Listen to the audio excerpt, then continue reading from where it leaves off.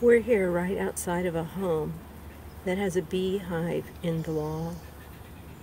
You can see that the homeowner tried to block up access by putting these cement blocks in place.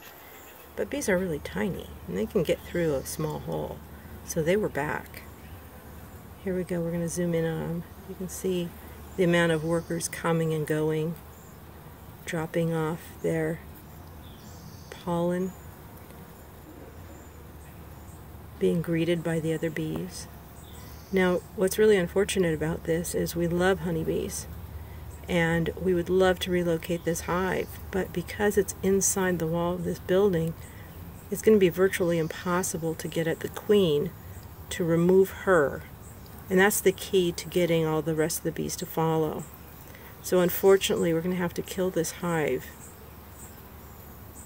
And then we'll have to open up the wall and make sure we get all the honey out and the honeycomb because if we don't, that's going to attract other vermin to this area.